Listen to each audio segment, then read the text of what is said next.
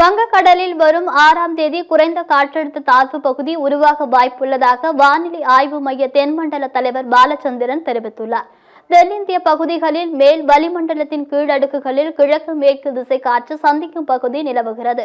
இதனால் பெரும்பாலான இடங்களிலும் நான்கு மற்றும் ஐந்தாம் தேதிகளில் ஒரு சில இடங்களிலும் இடி மின்னலுடன் கூடிய லேசான முதல் மிதமான மழை பெய்யக்கூடும் என்று வானிலை ஆய்வு மையம் தெரிவித்துள்ளது.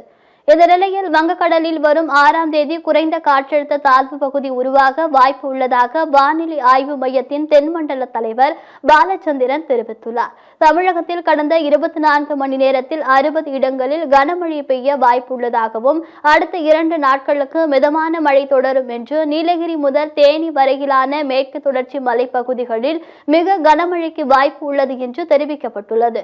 சேலம் நாமக்கல் டெல்டா மாவட்டங்களில் மழைக்கு வாய்ப்பு உள்ளது. வங்கக்கடலில் வரும் ஆறாம் தேதி குறைந்த காற்றழுத்த தாழ்வு பகுதி உருவாக வாய்ப்பு உள்ளது என்று கூறினார். தமிழக பகுதிகளில் தற்பொழுது வளிமண்டலத்தில் கீழடுக்கில் மேற்கு திசை காற்றும் கிழக்கு திசை காற்றும் சந்திக்கின்ற பகுதி நிலவுகிறது.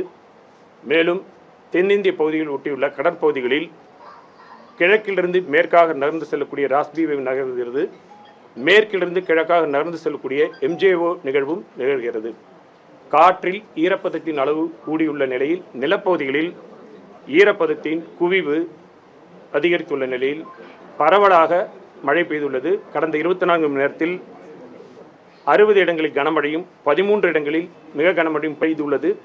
அடுத்து வரும் இரண்டு தினங்களை பொறுத்தவரையில் தமிழகம் புதுவை காரைக்கால் பகுதிகளில் பெரும்பாலான இடங்களில் மிதமான மழை பெய்யக்கூடும்.